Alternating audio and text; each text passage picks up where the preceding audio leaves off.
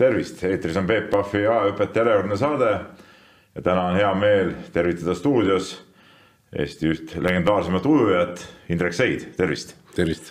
no me alustame traditsioonilise küsimusega, et millal viimati ise basseinis äh, ujusid? mitte väga ammu tegelikult. Äh, noh, ammu on muidugi jälle suhteline, aga ma pakun välja mingi kuu aega tagasi aga niimoodi ei ole, et äh, vana ujujana ikkagi tõmbab iga, ma ei tea, nädal või, või paar korda nädalas vette?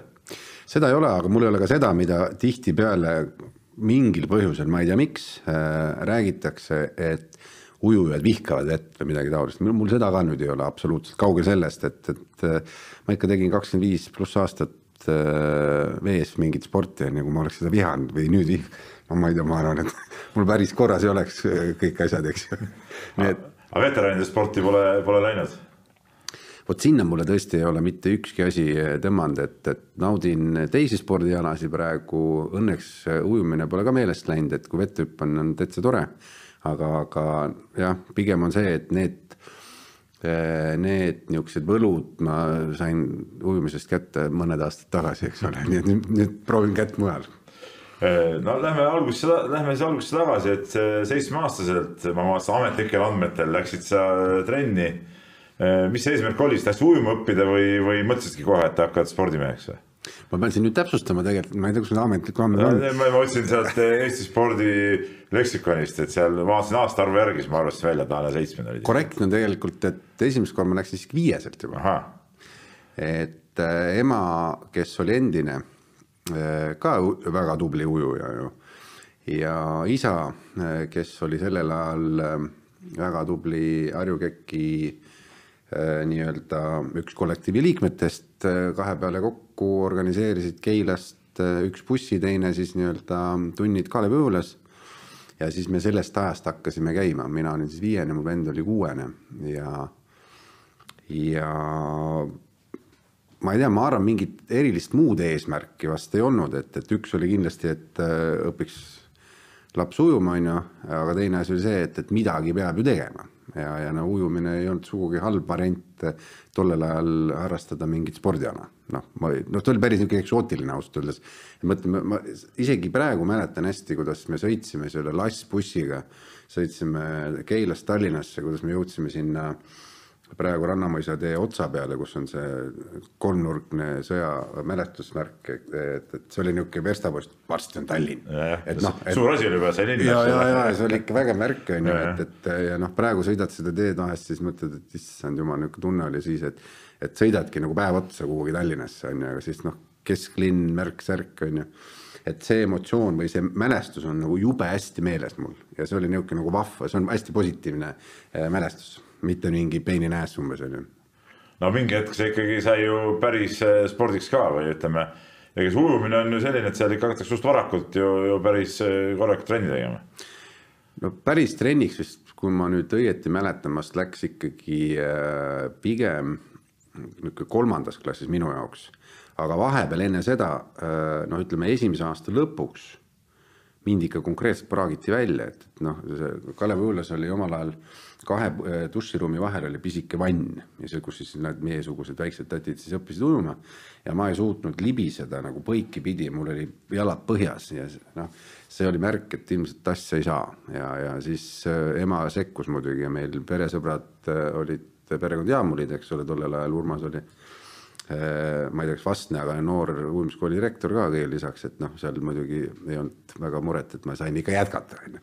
ja siis vahepeal juba äh, ennem kui ma tegelikult Jaamuli äh, ja Leili Heina rühma äh, siirdusin, oli ju Tõnu Meiel mul samamoodi mm -hmm. noortreenerina niisugune noh, ma ei tea, siis me veel õppisime, aga siis juba tema organiseeris väga niisuguseid ägedaid võistlusi, mida ma ka hästi mäletan, mul on siiamaani alles niisugune kummirõngas, see on nagu see stressipall on mm, -hmm. aga see oli siis rõngas, on ju.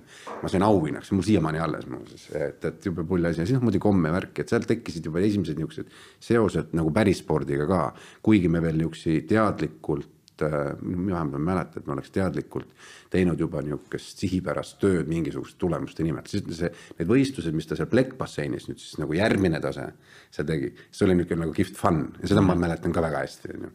Aga noh, et eh, ega toona ei olnud nii nagu praegult, et eh, kõik, kes trenni tulid, vastu võeti ja pearaha eh, nende eest saadi, et sellepärast oligi see oht ka, et praegitakse välja, kellest nagu asja ei saa, eks ole, suht, suht kergelt ju. ma seda tegelikult printsiipi tegelikult ei tea, et, et noh, ma arvan, et seal oli pigem niisugune, et noh, jah, kolhoosi köis las lohiseb stiilis, ma pigem arvan seda, et, et, et noh, mingit peaterahadest polnudki juttu, on ju, et, et ju sport oli tasuta ja seal keegi maksma ei pidanud.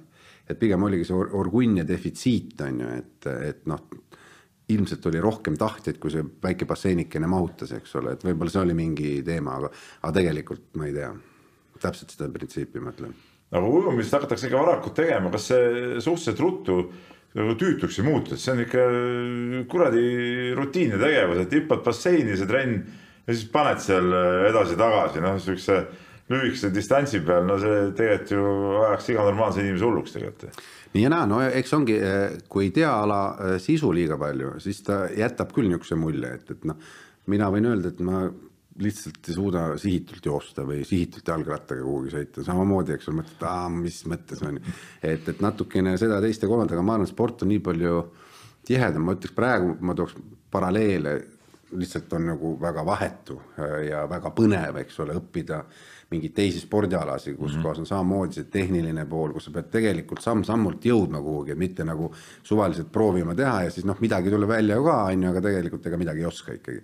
et eks see ujumine on ju samamoodi, et see protsess on megapikk, et, et nii nagu igal spordialal tegelikult, et noh üks, ma ei tea, pallimängus palli patsutamine, ega see ka kohe ju selgeks ei saa, eks ole, ja siis veel. no seal on muud... teised sul ümber või sa muidugi suhtled seal, aga või no kasvõi rattasõidu ajal jooksu saad suhelda, aga mees, mida sa suhtled, sa saad iseendaga kogu aeg eh,. ongi hea olla iseendaga. aga see on siuke natuke siuke, siuke erakut spordiala siis. ei ole, tegelikult ei ole, sellest eh, see see no ütleme, viiekümne meetrine ots või kahekümne viie meetrine ots saab ikka ükskord läbi ju, seal otsas ikka vahest nagu puhkad ka ju. ja siis saad lobiseda, enne trenni saad lobiseda, peale trenni saad lobiseda, et, et neid hetki, kus sa saad tegelikult suhelda, on küll ja veel ja noh äh,, eriti nooruses ju noh, ütleme ka praegusel ajal on ju grupid üpris suured, tekivad sõprussuhted ja, ja see sotsiaalne elu selle trenni ümber on palju suurem kui see üks väike sportlane seal, eks ole, basseinis, et, et et see põnevust on seal küll ja veel ja, ja, ja ma ütleks, et ujumise puhul ka lastel see areng ja see, see oskuste uus tase, see viibki edasi, noh mm -hmm loomulikult ta ei ole mingi maailma kõige lihtsam spordiala, et ma ei tea, mis on lihtne spordiala muidugi, minu meelest, kui tahad hästi teha, siis kõik on üpris keerulised aga, aga ujumise teeb kindlasti väga põnevaks see tehnilisus, see tegelikult see hästi komplekssus et ku, kuidas järgmise sammuni jõuad ja mis seal kõik teha tuleb ja, ja, ja, ja lapsed eelkõige alateadlikud, nad lihtsalt ühel momendil avastavad, ma oskan seda ka ja see on nii kihvt. ma võin nüüd kiiremini, aa nüüd ma oskan seda stiili, aa nüüd ma oskan toda stiili ja nüüd ma teen seda palju paremini. et tegelikult see protsess on väga-väga lahe, ma ütlen, minu meelest. kas ma olen õigesti aru saanud või mulle tundub, et kõrvalt vaadates, et äh, ujumine, ujumise trenni üks eripära on ka see, et äh, no esiteks noh, nagu ikka juba, kes kuhugi on jõudnud, harjutavad kaks korda päevas, et ujumise hommikune trenn on hästi vara alati millegipärast. et, et nagu umbes mingi kell, ma ei tea, kell pool seitse või seitse minnakse basseini juba, et, et miks see nii on? no põhjus on lihtne, et, et enamasti äh, need, kes äh, ujuvad, ujumine on ka üpris noor, äh, noorte inimeste spordiala no,. koolivad pärast, jah? no tegelikult ongi. No, et mingi muud, muud mõistlikku seletust sellel ei ole? tegelikult ei olegi. E, et, et noh, kes juba on kooli lõpetanud, eks ole, siis tihtipeale tehakse ju ikka nendega koos edasi trenni, kes veel käivad koolis mm, -hmm. et, mhm. et see on jälle niisugune kompromiss, aga et noh, otsida veel mingisuguseid põhjuseid, siis äh, noh, et kui on kaks trenni päevas, on ju mõistlik, et selle kahe trenni vahe oleks nii palju pikk, et sa saad äh, süüa, sa saad puhata, uuesti ette valmistada trenniks, on ju. muidugi ta ei pea olema nii, et kell viis hommikul läheb, aga mina ise näiteks äh, Kanadas olles mingi aeg noh, seal oligi see, et, et ka natuke sõltus, millal veeaega on mm. -hmm. eks ole, noh, klubil oligi, me läksime kell viis trenni. et, et kella viiest seitsmeni teha trenni ja siis läksidki, osad läksidki kooli. ülikoolides täpselt sama case, et ega kui nüüd loengud hakkavad sul mingi X kellaaeg on ju, siis sa pead olema loengus ja, ja, ja väga palju sõltuski, kas sa saad ujumisega tegeleda või spordialaga tegeleda äh, sinu õppeedukusest mm. -hmm. kui see õppeedukus kukkus mingist äh, joonest allapoole äh,, stipendiumid kukuvad ära, oled oma pead, tšau-pakaa, ongi kõik, on ju, et, et nii, et see ülikoolid USA-s näiteks küll väga selgelt, eks ole, jälgivad seda printsiipi ja te, seetõttu seal on väga äh, varased trennid. mujal maailmas, kus iganes tehakse, eks ole, on noh, mõned on niisugused rohkem organiseeritud, Itaalia, Prantsusmaa eks ole, niisugused, ka Hispaania tegelikult mingil määral, äh, Saksamaa kindlasti, et, et seal on niisugune nagu organiseeritud koondise äh, niisugune mhm, treeningud, eks ole. Mhm. et ma olen kindel, et nad kell viis hommikul ei lähe, nad pigem lähevad kell kaheksa, üheksa võib-olla isegi, võib-olla üheksa on natukene hilja, aga pigem kell kaheksa teevad rahulikult trenni ära.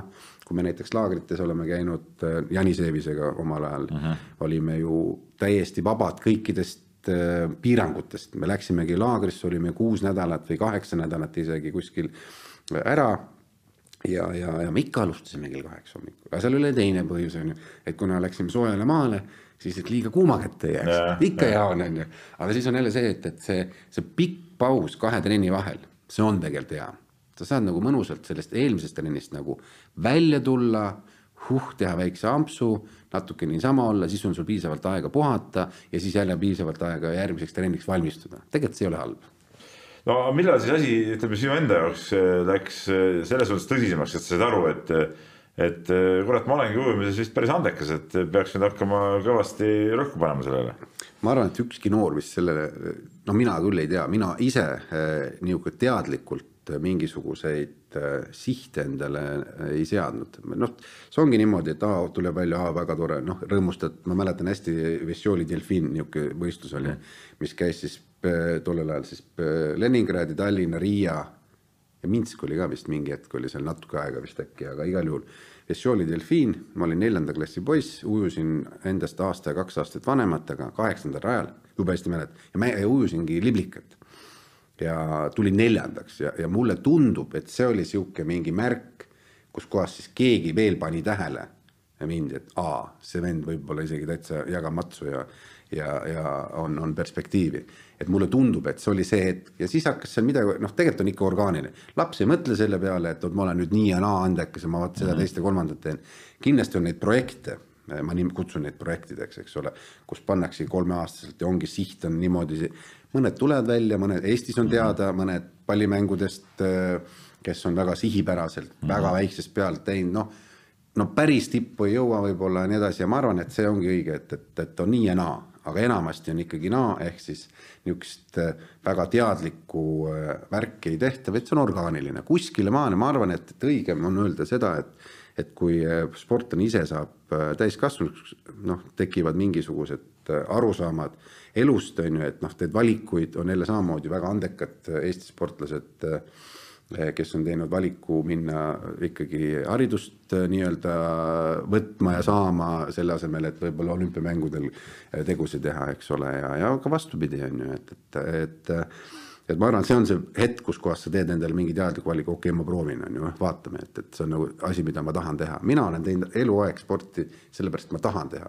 ja, ja, ja paljud on äh, seda taandanud, küll ma olen laisk, aga jube andekas, aga ja, ja küll on noh, taandatud äh, mingitele niisugustele ma ei tea, emotsionaalsetele äh, väärtustele, aga tegelikult on, see ongi elu lihtne, et, et ma teengi seda sellepärast, et mulle meeldib ja ma ei stressa sellepärast, et kui ma ei, ei, ei saavuta midagi, mis ma võiks või noh, ma ei, mitte ma ei tea, kas võiks, aga, aga kõik arvavad, peaks saavutama. ainuke, kus ma olen tõesti stressanud, kus mul on lõppkahju olnud, on see, kui minust mitteolenevatel põhjustel ma ei realiseeri oma, oma seda potentsiaali. Ja see on praegu ka, lähed tenniseväljakule, tegelikult ilgelt hea on, aga kui ise koogid ära või noh, siis on kõik hästi, aga keegi teine koogib, on ju, noh, ma ei hakka nimetama, kuidas neid, siis sa võid minna no enda peale tiges, no mida mõt-, mis mõttes on ju, et, et, et siis on ju noh, kahju, kurb, tigedus, vot niisugused emotsioonid, aga see on ta kõik no aga ütleme, sa läksid äh, ikkagi tsikki õppima äh, mingi hetk, et see on juba ikkagi natuke teadlikum valik ju, et, et äh, iga mees ju või, või iga poiss või tüdruk tsikki ju ei läinud, et see, see oli ikkagi nagu spetsiaalspordikool ikkagi. Jah, aga see no ei olnud nagu minu valik, eks ole, see oli väga suunatud valik, et, et no, no tollel ajal võib ka nii öelda, on ju, et, et noh, tehti ikkagi selgeks vanematele, eks ole, eks mina olin ka muidugi mingi mees seal juba selleks hetkeks, eks ole, kaheksandas klassis midagi ikka oskasid mõelda, on ju et aga tehti eelkõige ikkagi ju perele selgeks, et see on nüüd see viis, kuidas me realiseerime ennast ja see on see väga õige asi. ja noh, kes seal saab ikka selle vastu olla, kui sul noh, manatakse ette väga ilus tulevik, eks ole, nõukogude aeg ikkagi noh, me ei näinud ju isegi kõige õrnemas või kõige siivutumas unenäos, et me oleme vabad ühel momendil. et, et see, jah, et see oli ikkagi see oli ikkagi noh, selgelt äh, perspektiiv äh, igale noorele, noh, ütleme siis Eestis on ju sellel ajal, nii et, et äh, ega raske valikuid teha ilmselt vanematel ka ei olnud ja minul ka, ma ei mäleta küll, et ma oleks väga palju seal ütelnud, oi, no mõtleme veel natuke või niimoodi, noh, selge. see ikka oli äge kool ja, ja see oli teatud mõttes ikkagi ka tunnustus, kui sa said sinna. -huh. ja mina mäletan seda niimoodi, et kui sa üldse nagu tsikki said nii-öelda äh, koha, see oli juba nagu kõva sõna. see oli kõva sõna muidugi. et, et ehk siis ka see kindlasti oli teatud mõttes niisugune noh, argument, et noh miks ma vaidlen vastu kuhugi millegile, mis on tegelikult lõpp mm. hea ju ja ta oligi hea. Äh, no mis see tsikk elu endast kujutas, läksid ühikasse elama ja, ja hakkasid nagu siukseks iseseisvaks või? ei olnud, minu üks asi, mis ka minu eest küllaltki resoluutselt ära otsustati, et vot ühikasse sina küll poiss ei lähe. ei, see vend ei lähe, noh, mina sellest ühikast eriti midagi siis veel ju ei teadnud, aga kuna mul eh, vanavanemad elasid ju eh, Tallinnas üldse mm. mitte kaugel Sikist, nii et, et siis ma suurem osa ajast eh, olin ikkagi vanavanemate juures ja, ja ma sain oma asjad kõik tehtud ja siis mingi aeg iga nädal siis sõitsin jälle koju Keilasse, onju mm. -hmm. nii et, et noh, nädalavahetuseks eriti onju, et, et mida noh, vanemaks said, seda vähem võib-olla siis nagu Äh, regulaarselt omal seal Keila kodus käisid, jäidki siia linna, siis oli seal spordis oli meil need nii-öelda lõputud laagrid on ju mm. -hmm. et, et, et noh, siis seal olid ja no muidugi noh, igasugu asju, aga eks ma selle ühikaelu äh, nägin ka noh natukene kuigi ei elanud seal aga äh, ütleme, sihuke muu, muu elu ja pull ikka paelus ikka natuke, et, et, et oli võib-olla hea, et sa päris seal ühikas ei, ei olnud siis või? no muidugi, kindlasti, noh, selles mõttes, et noh, mida ma olen ka varem öelnud, et mina spordi pärast pole midagi tegemata küll jätnud. et, et mina olen saanud kõike rõõmuga ja nautinud kõike, mis, mis, mis ma teinud olen, nii et, et, et jah vastab tõele. sinu kohta räägitud ühte legendi, legendi ka, kuidas eh, seal Tsikis oli mingisugune pidu olnud. ütleme noh, eks sa olid seal ka peol osalenud, olla isegi suitsu teinud väidetavalt ja järgmine päev läinud võita Eesti meistrivõistlused ära vastab tõele või? võimalik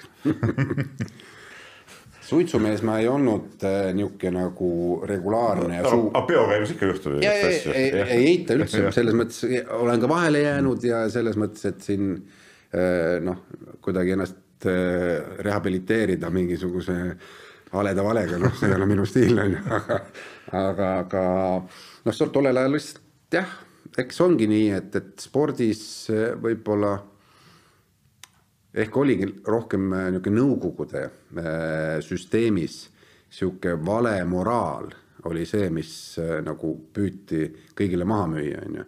ma noh, küll ma ei näinud seda, tegelikult nägin ka kaheksakümne üheksandal aastal EM-il, kuidas noorsportlased, kuueteist-seitsmeteistaastased võtsid kõik väga relax'ilt teistest maailma mm -hmm. või Euroopa riikidest, on ju hiljem äh, noh, üheksakümnendates, kui me olime juba vabad, eks ole, kus me käisime maailmakarikatel, Saksa äh, naissportlane, mitmekordne maailma rekordiomanik, maailmameister, rahulikult treeneriga koos enne basseini minekut tegid ukse peal suitsu rääkisid omavahel juttu, võistlustel, maailmakarika mm, -hmm. mitte mingi suvaline, tegid rahulikult oma tobi ära, pandi kõike mindi rahulikult soojendust tegema, et, et, et see, see ei ole midagi uut siin ilmas ja ma arvan, et, et noh kes on vähegi sporti äh, jälginud ja võib-olla ka erinevatel äh, võistlustel käinud, noh, kergejõustikus, võtta hüppealad, eks ole, et, et seal soojendustata peal käib kõva tegema. no kõik need Carlo Reinhardid ja Sööbergid ja need olid kõik kõvad suitsumehed. täpselt, siis võtame äh, vehklemine, eks ole, ma käisin ise seal Tallinna mõõgal mingi noh, see oli vist isegi nõukaaja lõpp äkki või siis kurat, et noh, ja et nägid ust, et seal oli ukse peal tüübid panid, kõik panid niimoodi ennem, et, et lasege olla, nii et, et see, see teatud niisugune inimlikkus ja, ja, ja, ja noh, ütleme noh, läbilõige sportlaskonnas sellest sotsiaalsest noh, väärtustest või, või nendest pahedest samamoodi noh, kes siis, ma arvan, et, et noh, oleks üpris naiivne mõelda, et, et sportlased vahest ei lõõgastu, noh võttes äh, napsi no, näiteks. üldiselt äh, nendel ei tule ka midagi välja, kes aeg-ajalt ei lõõgastu no,. no mõnikord tuleb, aga, aga ütleme, sa pead ikka mingi hetk lõdvaks laskma, eks see on loogiline. peab tunnistama, ma, ma tean üpris mitut, kes muidugi ei lõõgastu ja on olümpiavõitjad. no on ka no, neid. ei, ma tean ka jah, aga ütleme, aga üldiselt ikkagi see läbipõlemine kipub nagu, nagu tulema. eks see on noh, natuke jah sellest.... ülemõtlemine sellest kipub tulema nagu. absoluutselt ja, ja ilmselt need, kes on jõudnud nii tippu ilma neid lõõgastust äh, tegemata, on ju, et, et eks need on selle võrra siis nii-öelda sihikindlamad, selgemalt defineerinud, mida nad tahavad, kuidas nad tahavad, millal nad tahavad, et, et noh, selles mõttes need, eks jälle läbilõige, et on nii ja naa äh, neid, neid äh, sportlasi, kes on jõudnud väga kaugele, aga on ka vastupidi, eks ole, kes ongi läbi põlenud just nendel põhjustel, et, et, et ei ole kestnud ja, ja võib-olla on olnud valed lõõgastusvahendid, on ju. noh, võta nüüd kinni, eks, et, et, äh, vastab tõele legend tegelikult üpris äh, kindlalt, sellepärast ma ei tea nüüd konkreetset juhust, aga, aga võin kindlalt väita äh, või kinnitada, mitte väita, kinnitada, et see ei olnud ka üks ainuke kord, kus kohas juhtus niimoodi, et, et järgmisel päeval tuli Eesti rekord või, või midagi taolist, et on olnud hästi ägedaid perioode. väga kihvt oli näiteks Noorte Hääle karikad mm, -hmm. minu meelest legendaarsemaid, kihvtimaid võistluseid on raske leida, äh, see oli nagu nii ühtehoidva ja kuidas võistkonnad olid ühtehoidvad, samas erinevate võistkondade liikmed olid omavahel suured sõbrad. aga kui see võistlus käis, kuidas, kuidas pärast siis seda tähistati, siis võitu või kaotust mm, -hmm. ükskõik, et see oli minu noh, ülikõva, ülikõva, nii et, et äh, ma ütleks, et see annab nagu spordile sada korda rohkem seda võlu ja väärtust juurde, eh, kui see, et sa lihtsalt nagu mingi noh, ma kutsun mõndasid projekti sportlasteks, et, et ongi, sa oled nagu pandud mingisuguse vankri ette ja sul on mingi meeskond ja siis teed kõik, mis teed, ainult et noh, sind suunatakse, et sa ise ei tee mhm, midagi, noh, noh stiilis see on ju. ma olin väga kade muuseas, mitte kade, vaid eh, vastupidi, ma ei olnud mitte kade, vaid ma eh, nautisin iga hetke, kui ma sain olla võistkonnaspordiga koos ja, ja sport hotelli perioodist mul oli nii ägedad äh, niisugused noh, võimalused koos olla äh, käsipalluritega tolle noh uh -huh., ütleme siis tollel ajal värapalluritega, eks yeah. ole, noh. Brahmanis ja kompanii tollel ajal ülikõva, noh, nii noh, kui vaatad, kuidas need nagu elavad ühte ja kuidas nad kõike seda teevad õigete asjade nimel, sa oled üksik sportlane, kus sa pead vahest individualismi noh, ütleme siis no mitte mida ei, ei tarbi, aga sa oledki väga individualistlik on ju. Kurat, kus mulle meeldis see, räige, kus mulle meeldis see võistkonna vaim, siis samamoodi spordi jalkasats, kus oli mm. Prints ja, ja ja Kõmper ja Epner, see sats oli samal ajal seal on ju.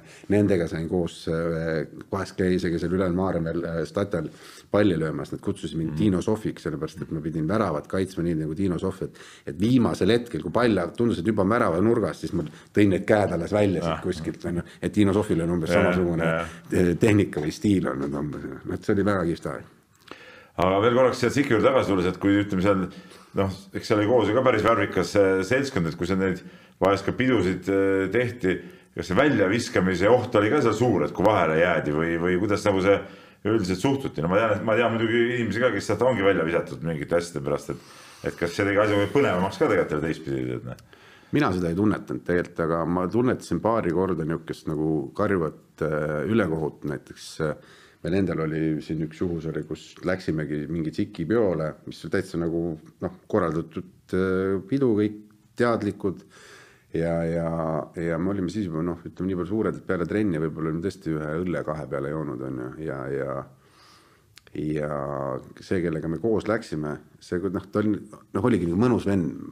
Ja niisugune nagu lõdva käis ja kaks väga tunnustatud sportlast tulid vastu, et tegelikult noh, vaatasid, et piston ei ole päris õige värk, on ju, ja, ja oligi natuke õllelõhna tunda ka vist ja viidi direktori juurde, vot see oli nagu, ta ei visatud välja küll, aga mm, -hmm. aga see oli niisugune, niisugune, vot see oli minu jaoks oli not okei okay., et see, see ei ole, niimoodi noh, kitse panna ei ole kena, on ju. aga, aga see, kas nüüd see põnevust lõi rohkem lõi või mitte, no no ma arvan, pigem mitte, on ju, et, et keegi ei tahtnud, et välja visatakse, et sikist või ütleme, Siki ühikas üldiselt olidki pigem kaugelt äh, tuli, ma mäletan hästi seal äh, Pingsi vendasid Võrust, tõstjaid, üks kahjuks nimesid praegu kohe nagu ei, ma ei võib-olla ei peagi ütlema, aga, aga tule ka meelde praegu, et ega lõppägedad tüübid ja noh, ma noh, ja need ei, ega need ka kätt ilmtingimata igale poole ette ei pannud, on ju, et, et elasid ka oma vahvat elu, on ju, et et ma ei usu, et keegi mõtles selle peale, et ma, kuule, come on, on ju, et, et ei, muidugi keegi tahab välja minna, ma ütlen, teistpidi jälle noh, noorel inimesel ikka väike põnevus ka, et aa, näe, saime hakkama jälle vahele jäänud, et no sellest nagu. No kindlasti- ma mõtlen oma nooruseski noh, et ikka oli nagu äge, kui tegid mingit asja ja ma arvan, et see jä- takkajärgi oli see hea tunne, et noh, õnneks vahel no, aga niimoodi, et lähen nagu tegema ja,, noh vaatan, mis tuleb, ma arvan, et seda ei julgenud keegi teha.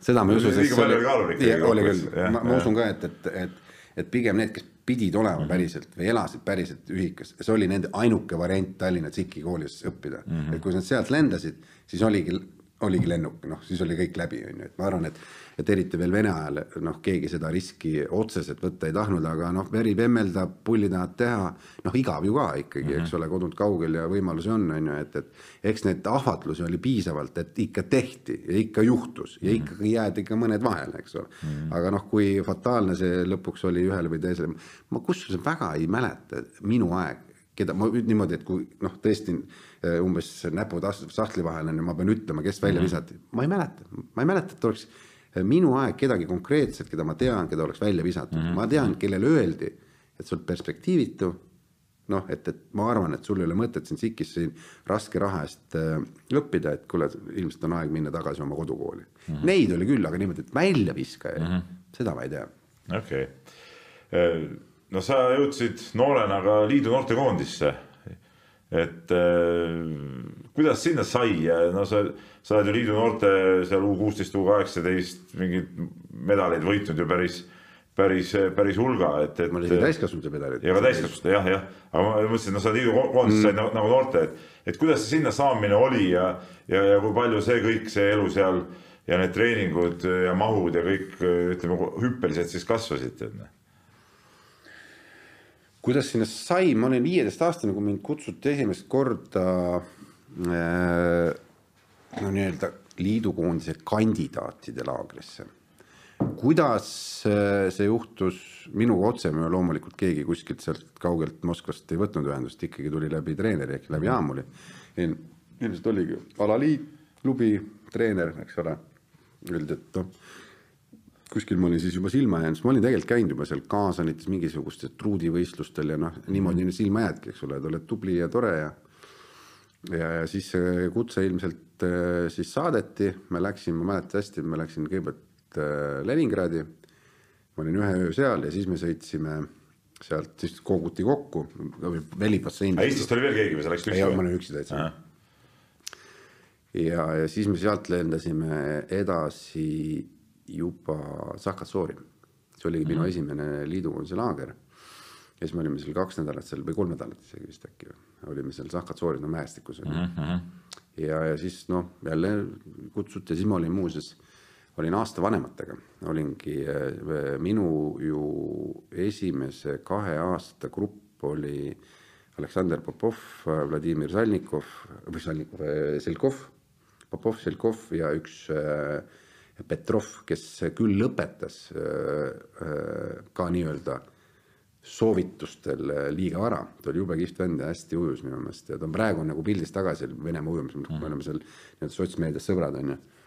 ja, ja aga, aga, aga me olime neljakesi Selili brigaad mm. -hmm. ma olin tollel ajal Selili ujuja ja, ja samamoodi Popov ja ainuke, kes siis Selili ujujaks jäi lõpuks oligi sama Selkov, eks ole, kes siis ka noh, on võtnud ikka väga palju medaleid maailmas onju. Nii et, et ega seal tegelikult midagi eriskummalist ausalt öeldes ei olnud. ei olnud nii, et läksid hoopis teise maailma nagu, et seal ma ei tea, mis ujusite viis korda rohkem kui siin Eestis ja, ja tegite mingeid mahtusid või? ei, mina arvan, et tegelikult Eesti koolkond, noh, ta sai ju väga palju, minu enne mind ju oli ju terve pinutäis liidukoondise mm -hmm. ujujaid ja see, see kontakt liidukoondise ja liidu üldse selle noh, selle teadmistega noh, Rein Aljan, Pestermann, Kaasik on ju enne mind äh, siis äh, ma ütlen mind hädast välja nüüd, Stukulkini treener äh,, piinlik lugu ma praegu nüüd jään ka, ma tean, et, et Uno Tõnnus oli veel, kes oli, kes oli liidukoondisega seotud veel vara, kaheksakümnendatel. aga, aga tegelikult Ivari treener. Toomas Ubaga elasid koos veel piinlik. no las ta olla. ühesõnaga, ma tahan seda öelda, et, et see teadmine, kontaktid ja see seosed ja sidemed olid ja. enne mind ju noh, ma ei olnud ju esimene, eks ju. et ehk siis seal midagi uut seal maailmas ei olnud, et ega meie siin need tipud tegid ka ikka väga head tööd ja väga head metoodikat, et siin oli nii mõnigi teine, ma ütleks, et noh, Kaasik üks võib-olla noh, tihtipeale või meile vahest meeldib sõpradega öelda, et, et sündinud vales riigis.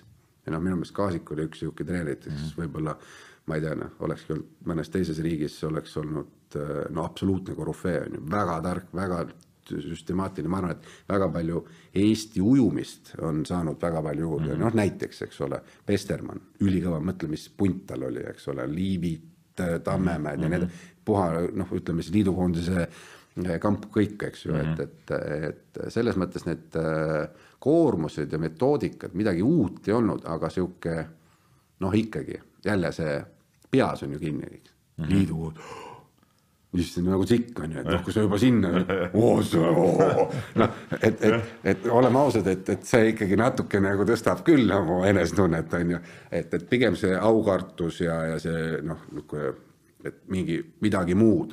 Loomulikult see kompetents ongi, see too, koondaks ära, ongi mingid tüübid, kes seal on, on ju kokku toodud no,. tähendab, ujumises oli üldiselt vähemalt meie aeg äh, niisugust noh, niisugust lõhkumist üldse ei olnud. ainuke asi, mis oli nagu noh, ma olin ka niisugune hirmul, et, et nagu räägiti mingit igasuguseid jutte umbes, mida kõike sisse söödetakse. ja siis ma olin, mäletan jube hästi, ma korjasin kõik tabletid, ma ühtegi suhu ei pistnud. Panin mingi koti sisse, neid oli üpris palju oli tegelikult mm, -hmm. mis päevas pidid sisse sööma, aga tegelikult koormused ka päris suured on ju aga niisugust asja, et mingid nagu keelatud ained või asju, mingi ilge kuradi kuskil käid kogu aeg, iga hommiku käid, viskad kulpi mingisugusele arstile, no niisugust pulli küll ei olnud meil on ju ja polnud mitte kunagi. ma olin sisuliselt üheksakümne esimese aastani olin mm -hmm. liidukoondises mm, -hmm. see kaheksakümmend seitse kuni üheksakümmend üks, siis mm -hmm. ma olin kogu aeg nendega kambas on ju. et, et sihukest äh, tralli mina ei näinud, mina ei tea, et oleks olnud ja hoiti küll jälle äh, Popov Äh, üpris tore näide tegelikult, niisugune nagu markantne näide. selline ujujana ta ka praagiti välja mm. -hmm. ta on nagu ilge pikk vend ja ilmselt oligi noh, tegelikult äh, mitte kõige lihtsam ei olnud seda selili tolle aja tehnikaga ujuda ja Turetski korjas ta ise üles, tema oli ka niisugune nagu noh, hääbu, ütleb mm -hmm. võib-olla sa ei peaks vähemalt ujuma, aga Turetski võttis, ta oli pikalt peidus ju, ta oli nii, et kaheksakümmend kaheksa ta läks, noh, peidus, peidus, mitte peidus, aga, aga ta ei käinud võistlemas, midagi ei teinud, on ju, kõik arvasid, et vist ongi, lõpetaski ujumise ära. ja siis tuli äkki tuli välja ja me ujusime ju, me ujusime kaheksakümmend üheksa Donetskis liidu meistrivõistlustel äh, finaalis koos, mina võitsin, tema oli teine.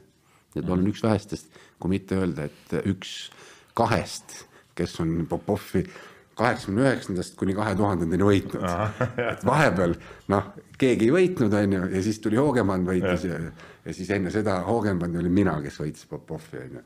aga tema noh, oli ka niisugune noh, huvitav niisugune võib-olla näide, aga võib-olla ka väga õpetlik näide, et, et liidukoondises ei jäetud kedagi äh, nii-öelda maha, vaid vaadati, mis teha annab, ehk siis võeti kõik viimast et -hmm. et äh, spetsialiseeruti ümber, nähti potentsiaali, mitte visati prügikasti näiteks noh, kindlasti juhtus neid ka, on ju, aga, aga, aga võta nüüd kinni, et minul on üldiselt on sellest ajast äh, pigem ainult head mälestused. Äh, kaheksakümmend kaheksa, kui ma pidin Belgias äh, esimest korda tegelikult noorte EM-ile minema, siis väidetavalt, see on nüüd puhas nagu kuulujutt tegelikult, aga noh, ilmselt mingi mm -hmm. tossu sealt tuli tõde ka, on ju et ma ei saanud sinna sellepärast, et mul pass oli kadunud, tegelikult ei olnud kadunud, on ju, siis lihtsalt oli see, et Moskvitšid äh, Äh, neil oli vaja, et nende oma tüüp saaks ikkagi sinna Belgiasse võistlustele, eks ole, et, et, et äh, siis Pribaltikast tüüp, see jäeti seekord maha, on ju, aga kaheksakümmend üheksa, kuna ma võitsin konkreetselt ikkagi liidukad ära, siis mind enam maha jätta ei saanud, eks ole.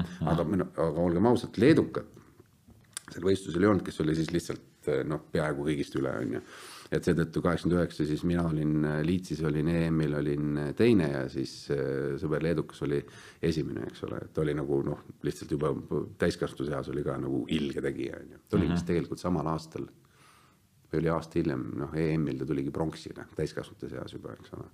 no selleks, aga, aga, aga põhimõtteliselt ikkagi see liidus ei olnud niisugust asja, et, et noh, ujumises küll, vähemalt meie ajal mm, -hmm. mida mina nägin, ega ma nüüd, nüüd liiga palju ka ei näinud, et oleks mingi jama, aga mis oli nagu huvitav, oli see ikkagi niimoodi, et kui sa olid juba sa liidukoondises sebisid sees, on ju, siis seal ümber need tüübid Kipirovka, noh, et sa said ju välismaa kraami ja, ja, ja. ja siis see nii-öelda treidimine läks lahti. see, mis kuradi, oh. kas ärimees hooneldad juba seal välja? ei, tegelikult ma ei saanud midagi aru, seal kuradi see noh, see oli päris naljakas tegelikult küll, et siis noh, ma ju ei teadnud, läksime sinna Lužnikisse Kipirovkat saama kätte, saame kätte, siis öeldi, et kaks tundi vaba aega. No siis oli noh, kõik võeti mingid asjad kaasa, siis oli kuskil seal Lužniki pargis olid juba mingid fraierid kohal kokku lepitud kõik. selge-selge, ma mäletan jube hästi oli, et, et adiplätud, et äh, muidu oli kogu aeg made in Germany on ju mm -hmm. ja siis oli made in Jugoslaavia ja üks tüüp sai sellest ikka konkreetselt sõimata, et et kurat pidi olema ikka kuradi made in Germany, mitte made in Jugoslaavia, mida ma selle Jugoslaaviaga teen. see on mul see fragment on hästi meeles. et see oli niisugune nagu noh, aga ilmselt nii nagu Viru ümber, nii nagu seal oli noh, too, tol ajal märgid. no tol ajal märgid muidugi jah. kõik same, same, but different. aga kui käisid, ütleme välismaal juba noore poisina tõid ka mingit äh, kraami, ütleme äh, noh, ise, ise siia kaasa või ma ei tea, viisid mingit vahetuskaupa või Soomes, Soome viina viisid või? jaa muidugi nii et müüs, aga mitte liiga palju ka, ma olin selles mõttes suhteliselt laisk, et, et aga viisin ikka tänutäheks viisin ja, ja vahest ka müügiks viisin, sest äh, mulle öeldi, et kuule, tuleb võtta kaasa, et sealt saab ikkagi noh, ja oli tegelikult ka, oligi nõudlus oli väga suur sest noh, meie müüsime ju kuradi olematu raha eest seal äh, seda kraami, et kõik olid võidus, on ju mm. -hmm. nii et mis siin salata, seda juhtus, aga liidukoondise võistlustel meil oli küll, tegelikult meil oli mingit kuradi seda kalamarja oli kaasas. aga miks meil see kaasas oli, seda ma ei mäleta. aga seal olid ju, liidukoondised olid alati ikkagi mingid nii-öelda KGB-snikud olid ka kuidagi jo. kaasas sokutatud, eks ole, eks ikka vaatasid ka, mis teed seal ju. no ütleme ja, ja mul on juba noh, üle kõva mees öelda, et tegelikult ma ei näinud neid kedagi, aga mul on endal nagu väga hea juhus või noh, jälle hea niisugune lugu, et äh, seesama Liitsis EM-il äh, meie naabermajas noh, sõpradel oli siis kontakt, võib-olla isegi täitsa sugulussidemed olid ühe perega Stanfordis, mis on siis Leedsi kõrval väike linn. ja, ja need andsid kõik kontaktid ja värgid, et, et noh, saaks kokku nendega, et tore oleks, on ju, ja, ja ma noh, küsisin muidugi luba, et kuule, kas tohib või ei tohi, on ju. ja, ja see peatreener Medvedjev, räigelt mures, aga noh, ta ütles, et kui sa kell kümme õhtul tagasi oled, et, et siis ma luban, on ju ma ütlesin, et okei okay,, ma luban, ma annan kindlalt kümme õhtu, noh, selle kõik panid putku mm. -hmm. noh, oli jälle mingi kuradi Estoniat sellest, paneme minema onju, et siis noh, siis on nagu kuri karjas kõigil onju. ja muidugi jah. aga, aga, aga ma ei pannud muidugi putku ja, ja siis tulin täpselt kell kümme ja saad aru, ma sain kuradi suu peale musi selle peale, ta oli nagu nii pinges. ta oli noh, ilmselt oli täiesti pekki, mõtles, et see vend kindlalt tagasi tuleb ja lootsid, seal lobis niimoodi ja kurat, meil oli see ka hea nali ju kui kõik teised eh, riigi noh, need koondised, noh, olid niisugused hostelid või mm. niisugused nagu soodsad hotellid, mõned isegi olid lausa koolimajadesse majutatud, ma tean, ma mäletan, meil ju see lõpupidu oli, siis mõned rääkisid. ja siis liidukoondis, viie tädi hotellis, no viimased on noh, täismäng. no seal kontrolli all ka kõik. nojah, seal on lihtne lihtne kontrollida. just ja, ja, ja see oli väga kõvasti, oli seal lobis oli, nii hästi mäletan, et aga järgmine päev mul ah,, ma ei tea, kas see oli järgmine päev, noh, samal reisul, noh, mul oli oma sünnipäev. ja siis kõik hommikul krivistati kõik üles sealsamas lobis ja siis sama see äh, treener Medvedjev andis mulle üle äh, niisugune, noh, mis ta on, niisugune kolmkümmend korda kuuskümmend, viiskümmend sentimeetrit äh, vimpel. Nõukogude Liidu vapp on kesk, nõus on, see on punane ja, ja kõikide koondise liikmed, ka täiskasvanud juuniorid ja noored, noori vist ei olnud, siis me olime juuniorid juba, juuniorid ja täiskasvanute koos kõik, äh, Sabovodnov, Salnikov, kõik mm -hmm. tüübid olid seal kenasti peal, olid äh,. Alkin mul siiamaani mõtlemine on rariteet, noh. no see on kõva asi muidugi, see on väga kõva asi. et, et sain sünnipäevakingiks mm, -hmm. nii et, et mm -hmm. ma olin väga tehtud mees, noh, selles mõttes, et ma pidasin sõna ja, siia ja me, kui me olime hiljem noh, meie Vaba Eesti värk-särk on ju ja seal maailmakarikatel, kui me nägime üksteist, alati rääkisime, ta oli kogu aeg ütles, ta sai liidukoondise peatreeneriks mm -hmm. veel ja. ja siis oli siis tollel ajal, kui oli liidukoondise peatreener äh, äh, siis nagu vanemate peatreener, kelleks tema sai mm. -hmm.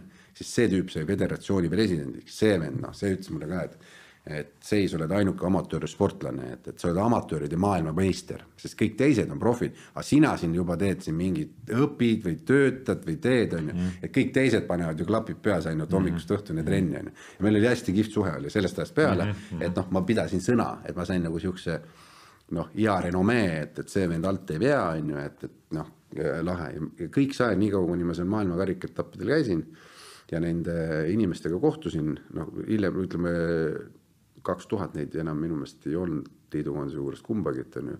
Medved oli hästi vana ka, et ma arvan isegi võib-olla ta suri ära, ma praegu ei mäleta, on ju, aga ühesõnaga noh, lahedaid juhtumisi on. aga kas see liidu ütleme juunioride või noortekoondise saamine eh, tõi juba mingi stipendiumi ka kaasa või, või noh, ütleme said nagu natuke meelehead ka? ja, ja me ikka kuradi eh, tegime nalja, siis me oleme hiljem, hiljemgi nalja teinud, et ma teenisin rohkem kui isa noh. No ma olin kuradi hästi. piinlik lugu, eks ole. no oli jah, näiteks umbes, no ma ei tea, võib-olla päris rohkem, aga ütleme niimoodi, vähem ka ei teeninud Yeah. et, et see oligi nagu nali, et, et umbes niisugune noh, aga seal oli see, et, et mina sain liidukoondise stipendiumi, siis mul oli, mul oli tänu sellele, et ma olin liidukoondises, mul olid ju mingid äh, suurema rahaga talongid ju mm, -hmm. eks ole, seal oli ju see veel, on ju. ja siis oli veel üks kõige, noh, mitte kõige, aga, aga ikkagi ka väga äge asi oli see, et iga kuu ma pidin käima äh, väike Ameerika ministeeriumi poest läbi mm -hmm. ja võtma siis selle pajoki ja pajokis oli poolteist kilo musta kalamari ja poolteist kilo punast kalamari ja selle viiesajastes grammide, viiesaja grammistes nendes sinistes purkides ja siis kummivits oli ümber, onju. ja ma sain ikka konkreetselt vanaema vanase juures hommikusöögilauas sain lusikaga sõin seda. ja siis ma lõpuks noh, teid oli nii palju, ega ma ei jaksa süüa seda, noh. noorel kutil nii palju see ikka maitses ka, onju, ega ei maitsenudki, ütleme ausalt, noh. Et vahest pidi võtma, onju, noh ikkagi ikra onju Nojah. aga ma viisin seal Janilegi noh tänutäheks, et noh, me saime koos seal teha ja ta, ma ööbisin ju tema juures tihti, kui ma Soomes mm -hmm. trennis käin mm -hmm. või seal noh, mingi laagrid või võistlustel olin ja et tänutäheks talle onju, siis kõik pööritasid silmi, no mina sain ju tasuta selle noh, tegelikult onju, aga mõtle välismaal praegu, no niuke tuhat euri kilo onju, ma lasin niimoodi noh, et, et, et niisugust nagu äh, vahvaid asju, mitte ainult äh, ei olnud kalamariga, see oli kõik viinerid mm, -hmm. liha ja kõike, ma mäletan hästi. kõik defitsiitne kaup. no täiskaubaline, see oli suur kott nagu, no või isegi kotiid, kui ma õieti mäletan. ja ma ükskord äh, mingil põhjusel, see oli suvel, ma ei läinud järgi õigel päeval, see oli ikka pidi minema õigel päeval järgi, siis mulle helistati järgmine päev, kas padin see või no kas padin, tavariš see või где, pajok žдет korralik, korralik tõrk. ei no väik- kõik jutud, et, et selles mõttes äh, see rahalised niisugused võimalused olid äh, üpris head siis küll jah mm -hmm. et, et ma ei mäleta, et ma oleks nüüd selles mõttes nagu saanud lubada endale midagi rohkem, midagi, mis sa ikka lubad sinna, polnudki midagi lubada. aga kui äh, ütleme, sinu see noorte iga nagu lõppes ja, ja siin Eestis riigikord nii-öelda muutus, tuli noh, oma riik saime vabaks, eks ole. Kas siis see elu muutus ja, ja see, ka see sissetulekute muutus oli kohe sihuke kardinaalne, et, et no ütleme, Eesti, ütleme noor Eesti Vabariik ei saanud võimaldada kõiki selliseid asju, mis, mis see liidusüsteem võimaldas. ja ei muidugi, no minu puhul loomulikult äh, ma arvan, et ma olen mingi aeg öelnud ka, et, et äh, minu tulemuses või ütleme siis selle potentsiaalis jäi, jäi puudu väga palju ka võimaluste tõttu.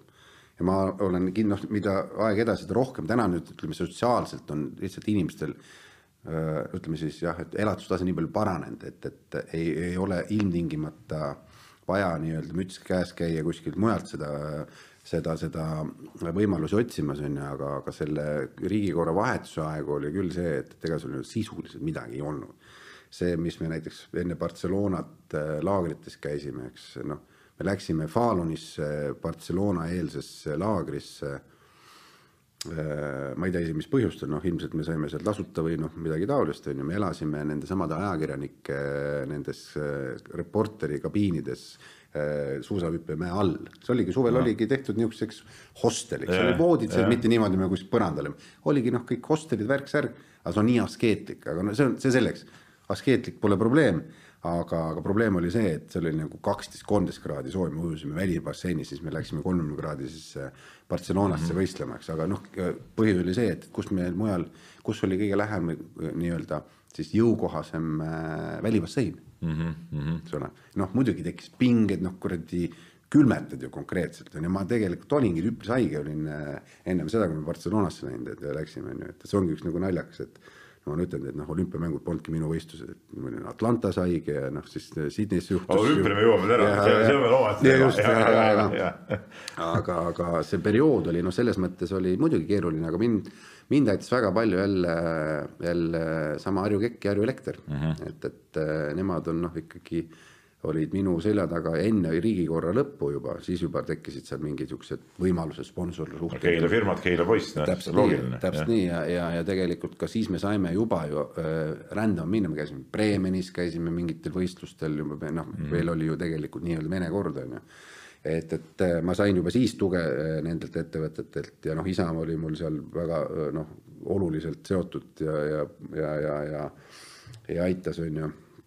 nii et, et me saime oma asju teha, aga see oli ikkagi kogu aeg nagu valikute kaudu, me ei saanud teha seda, mis me äh, tahtsime, mis oli ilmtingimata vaja, et kompleksselt kõiki asju vaadata. me pidime kogu aeg tegema valikuid, et kas me teeme seda ja siis me ei saa seda teha või teeme seda, siis me ei tee seda, on ju.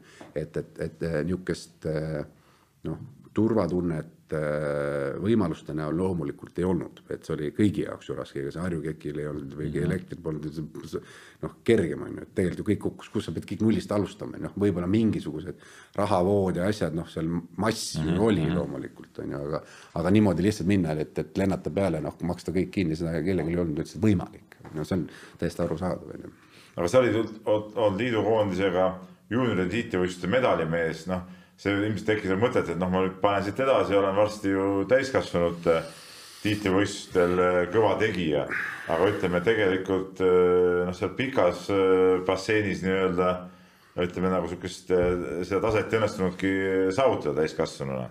et, et kas see, kas see mingi hetk hakkas nagu kuidagi nagu sööma ka või? et mind ei hakanud, sest ma tegelesin sellega, mis mulle meeldis mm. -hmm. ma, ma ei mõtelnud kunagi äh, tulemustel äh,, tulemuste peale ise.